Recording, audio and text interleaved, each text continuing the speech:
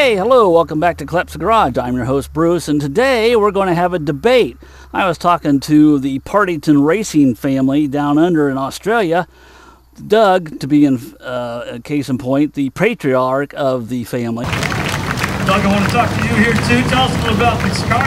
Oldest uh, surviving car in Australia, right? Uh, that, that's right, Matt. It was the oldest car built in Australia, purpose built as a racing car. I bought it when I was 14 years old, so I've had it 62 years. It uh, still laps uh, the Iowa Speedway at 80 miles an hour. We did that six weeks ago, and we're having a ball in America. And the jewel of the crown was to bring it to the Old Car Festival here in Highland. And, uh, to, he, uh, isn't that funny? I forgot. at the uh, Henry Ford Museum. Thank you very much, everybody. We've had a ball. We'll now start it up because if, if it was running now, you wouldn't be able to hear anybody. Thanks, Matt. Thank you. A real treat to have this car here. Thank you.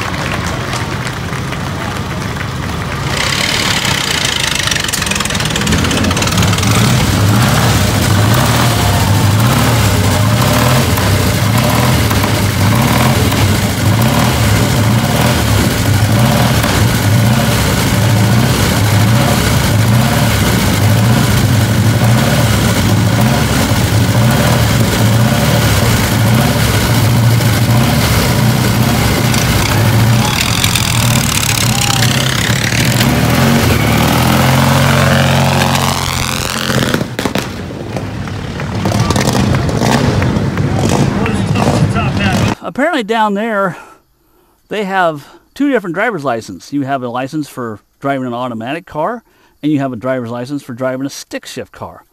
So the debate is, is a Model T an automatic or a stick? I say it's a forerunner of the automatic and I'm going to say it's an automatic. Reason point number one, there's no sliding gears, there's no gear shift. Fact, there's no gears in the transmission except what the planetary gears run on, which is the same as an automatic. Uh, here in a little bit in the video, we're going to show you the internal working of it from one of our other videos. But for right now, just going to explain something here. Uh, this car, basically, I'm the computer. I tell it what to do. I have to start it. I tell it to start. I tell it to move. On a stick shift car, you have to hold the clutch in when the motor's running and physically put it into a gear. On this car, once it's running, we'll just show you.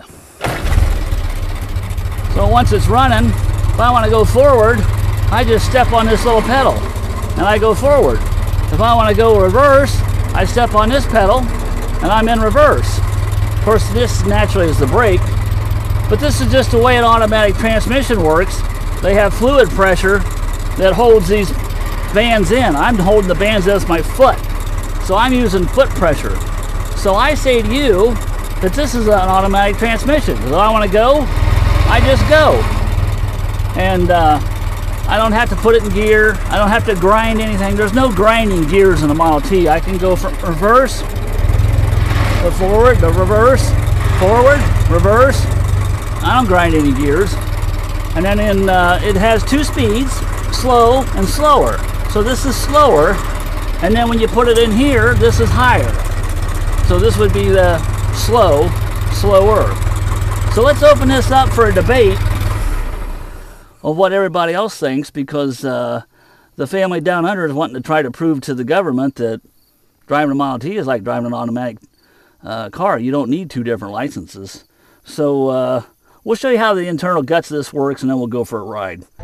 All right, so I'm back here with Dave Noldy and Dave's got an excellent broke down model of the T transmission. and He's got it all color coordinated. So he's just going to give us a brief synopsis of how first, reverse, high gear, and brake works. So go ahead and right. do your thing. The flywheel is attached to the crankshaft, and when the entire assembly is spinning like this, we're in high gear. The red drum shows you what your rear wheels are doing. So if you put the brake on, the rear wheels stop.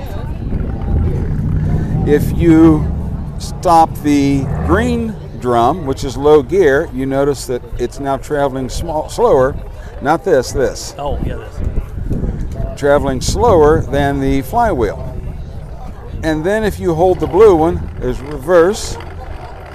We get reverse out of it. And the gear change is done, of course, high gear, you're running at drive or crankshaft speed. Yeah. The So this um, is all locked in as one. because it's all locked in as one locked in. unit. So none of these gears are turning. None. None of these are stopped. But when you do stop these, the reverse gear has a drum has a larger gear than the gear on the triple. And that gives you it reverses your direction. So the blue is is this inner inner gear, right? Yep. That's the reverse gear. The green is the low The band. low speed. And then the brake, well, well there is a brake on the red though. And It's, that's, actually, they call this the driven gear because it's what's driving the high gear. driving everything. Dri- it okay. drives your your brake drum. So it was very simple. This all ran in oil, Mm-hmm. motor oil, that actually helped keep it cool. Originally there was cotton bands around this, which nowadays we use Kevlar because you don't have to adjust them. They're like bulletproof. Get that Kevlar bulletproof? Anyhow, so uh, it's, it's a very simple design. It's what put the world on wheels. It's the closest thing to an automatic transmission because you're just holding the bands in. On an automatic transmission, the fluid pressure is holding those bands in. Same difference. So I don't know. Anything else you want to add?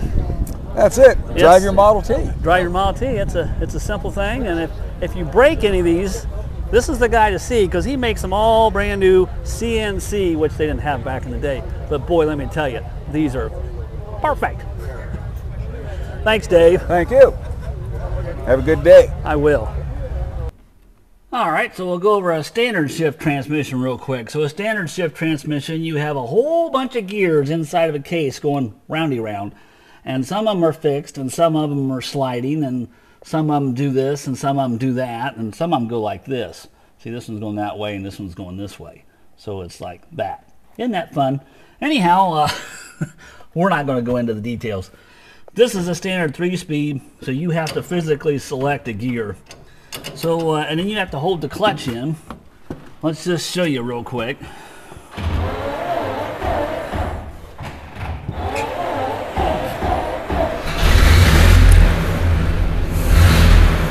So, uh, gotta shove the clutch in, gotta find them and grind them. Hear those gears? I gotta let the clutch out to make it move.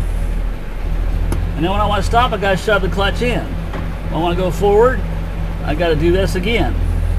And then I got to shift.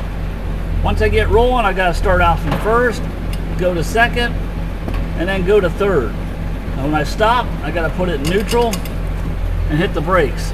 Or I could downshift. I would suggest for newbies to come up to a stop sign to put it in neutral and hit the brakes. Easy peasy. So that's the big difference between Model T and a standard shift transmission. So again, the forum is open. Let's hear from you, the viewer, what you think. Is a Model T an automatic or is it a stick? Does it Model T don't do that.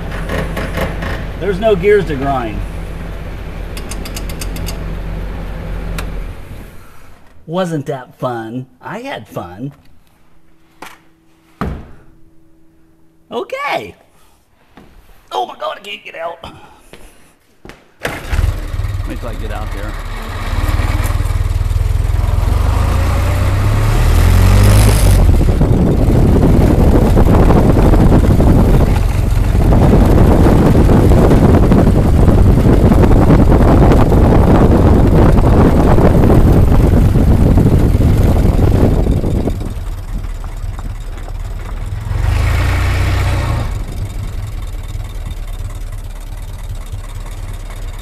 All right, so as like before, we're going to take a drive. We just we just go.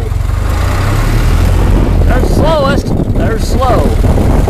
It's just that easy. Just like I want to stop, I just push the brake pedal and put it in neutral, and now I'm stopping. If I want to back up, I just back up. Could be that easy? Yes, it's just that easy.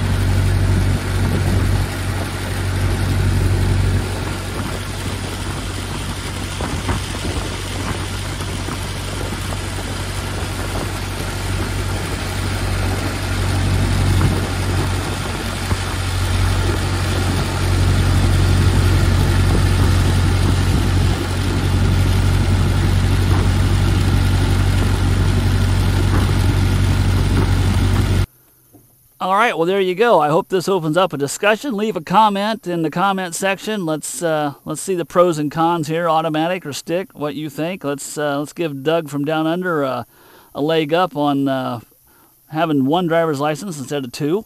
And uh, I'm interested to see your comments. So, as always, drive 'em if you got them. Thanks for watching.